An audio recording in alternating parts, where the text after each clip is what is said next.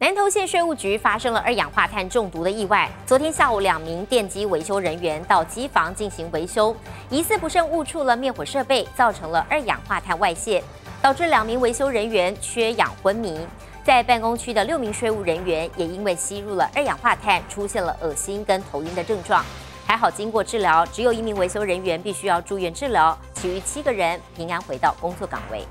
监视器画面中，三名工作人员正在机房进行维修工作，突然上方窜出白烟，吓得相关人员赶紧逃出。烟一出来，就很快的时间就离开机房，这样子。不明气体外泄到门外办公区，烟势浓密，盖住整个监视镜头。事发在二十二号下午三点二十六分，南投县税务局维修人员作业时，疑似不慎误触灭火设备，导致二氧化碳外泄。两名维修人员因为当场吸入过多有害气体，缺氧昏迷。其余六名税务人员也有人出现头晕、恶心症状，全部送往附近邻近医院。机房的二氧化碳灭火设备启动，所以他现在整个房间里面是充满二氧化碳。救护车赶到医院，经检查后，只有一名维修人员较为严重，需要住院诊疗，其余七人则平安回到工作岗位。我们事后回来之后，我们盘点我们的呃机器设备、资讯设备都是。